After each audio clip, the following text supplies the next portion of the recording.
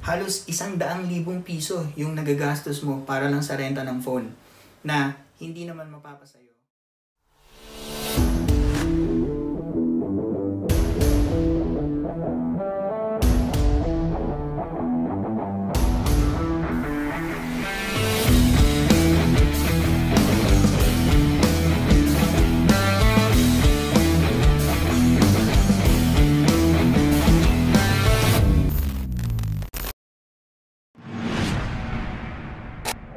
So, isang malaking katanungan patungkol sa smartphone.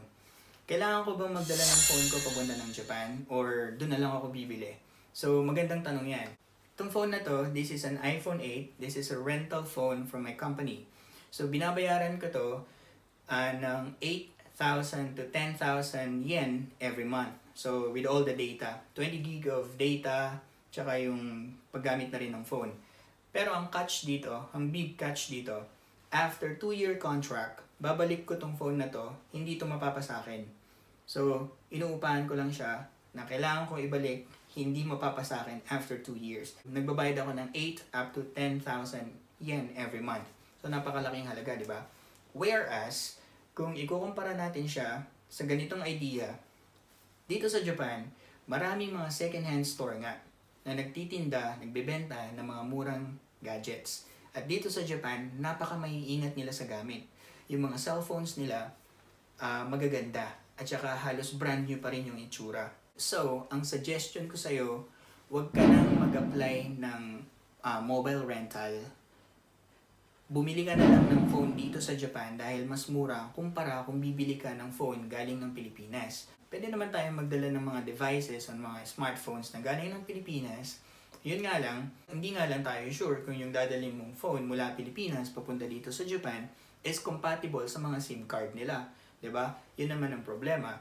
Kaya, if I were you, my friendly suggestion is, just bring your money from Philippines, dito ka na lang sa Japan bumili, kasi mura yung mga phone nila, mura na, magaganda pa, at guaranteed pa na magagamit mo sa Japanese SIM cards. So, para mas makatipid ka, bumili ka na lang ng phone dito, at mag-apply ka na lang sa mga internet providers dito sa Japan. Meron sila dito mga big internet providers like Docomo, AU, SoftBank, parang mga ano to, yung parang Smart at saka Globe dyan sa Philippines.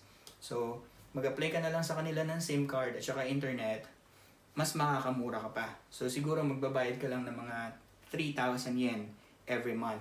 Compared naman dun kung magbabayad ka ng 8,000 to 10,000 monthly dun sa cellphone mo na tulad nito na nirerentahan mo lang at hindi pa mapapasayo after the end of the contract. So isipin mo na lang, nagbabayad ako ng 8,000 to 10,000 yen every month dito sa rental phone na hindi naman mapapasa akin at the end of the contract. So if we multiply that 8,000 to 24, that is 2 years, that is more or less 200,000 yeah, 200,000 yen, di ba? Halos isang daang libong piso yung nagagastos mo para lang sa renta ng phone na hindi naman mapapasayo at the end of the contract. Diba? So isipin mo mabuti yun.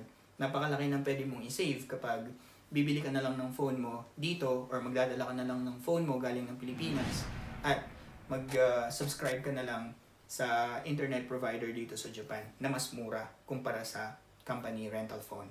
Alright? So, take that as a good advice. Thank you.